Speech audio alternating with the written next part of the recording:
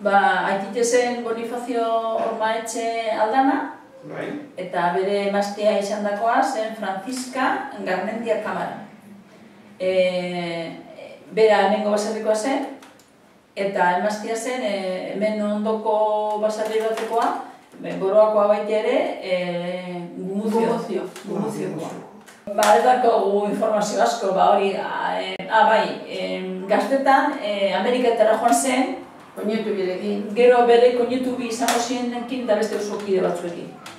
Eta koinetu bat e, sortzi urte gelditu zenan Ameriketan, baina bera eta beste koinetu koinetua gero sarra izango zena e, Juan Garmendia, eta bera e, itzuli ziren. Eta amak esaten zuen ezagu esateuela, ba, han e, ungo moduen lan eginez gero, hemen ere ondo bizi daitekela. Eta Felix Garmendia hori gelditu zen sortzi urte e, Ameriketan. Eta hori nintzen e, ardizikaz eta hori ira hauetan.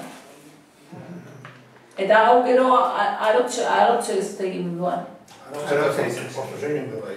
Bueno, posizioa baina arotza, Arotza. arotza. Teletu konpontzen eta hola nahi. Kontatu diguzue, zenbat nebarreba izan ziren E, mesedez. izan ziren, bos nebarre bat, bos nebarre bat, zaharrena zen Eusebio, gero zen e, Brigida,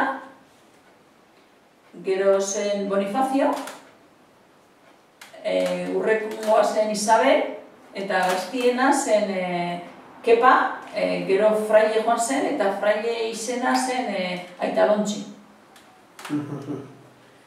Eh, eta lana jaio ziren, zure. Bai, ez jan ziren. Be- Beste nebarra bat egin zuten, e, mutile baite baina txikiten hil hilien zen. E.